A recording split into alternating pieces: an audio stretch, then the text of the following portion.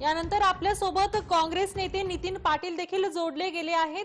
नितीनजी नारायण राणे यांना कणकवली पोलिसांनी नोटीस बजावली आहे. बरोबर आहे. ती जी नोटीस आहे ती नोटीस तुम्ही आताच सांगितलं दीपक केसरकरजींनी की जी तिथे जीवघेणा हल्ला झाला त्याच्या त्या म्हणजे ज्या त्याच्यावर हल्ला झाला त्यांच्या नातेवाईकांनी सांगितलंय की ते जी माणसं हल्ला करणारी आहेत ते नितेशजींच्या संबंधात आहेत. आणि आता त्यांच्यावरती नोटीस आहे त्यांना हजर राहण्याची कोर्टामध्ये.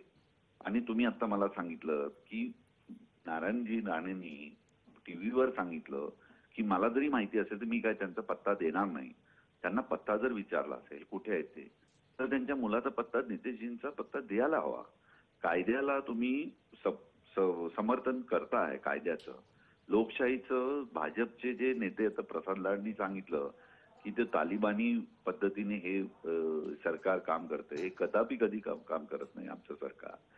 ह्या सरकारनी लोकशाहीला वर्चस्व दिलेलं आहे. कधीही कायद्याचं उल्लंघन न करता काम करण्याची ही पद्धत आम्ही राखलेली आहे. त्यांनी उलट पाच वर्ष नितीनजी नितीनजी परंतु. प्रसाद लाड यांनी म्हटलं आहे की जाणून बुजून राणे कुटुंबियावरती हे आरोप करण्यात येत आहे. तर तुम्हाला हे योग्य वाटतंय का? जाणून बुजून करतच नाही. जो सं- ज्या संतोष बरोबर जो हल्ला झाला त्याच्या नातेवाईकांनी जर नाव दिलं असेल जी माणसं आहेत आणि ती मुलं ती तो जो त्यांचा कार्यकर्ता तिकडनं अरेस्ट पण झालेला आहे. आणि काही लिंक्स त्यांना पोलिसांना मिळालेले आहेत आणि पोलीस त्याची कारवाई करतायत. इथे कुठल्याही सरकाराचा हस्तक्षेपच नाही तिथे. पोलिसांना जे जे लिंक्स मिळतात त्याप्रमाणे ते करतात. आणि म्हणून त्यांनी ते केलेलं आहे. उलट ह्या यांनी जेव्हा एक सरकार चालवलं फडणवीसांच्या नेतृत्वाखाली तेव्हा त्यांनी तालिबानी सरकार चालवलं लोकशाहीचा पायमल्ली केली. शरद पवार सारख्या माणसाला त्यांनी अरेस्ट वॉरंट काढलं होतं आणि सरळ सरळ ते तिथे काही पुरावा नसताना आणि स्वतःच नंतर सरकारने सांगितलं की आम्ही अरेस्ट करू शकत नाही करणार नाही. दिल्लीवरून आणि राज्यामधून त्यांना अरेस्ट करायचं. आणि पवार साहेब तयार झाले जायला.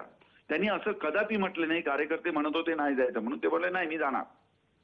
पण ही मान ह्यांचे जे सरकारमधली माणसं जर सरकारच्या यंत्रणेनी जर बोलवलं असेल तर ते जायला पाहिजे सन्मानपूर्वक. ते जायला पाहिजे. तुम्ही तिथे सहकार्य केलं पाहिजे. तुम्हाला कुठे अरेस्ट करतायत?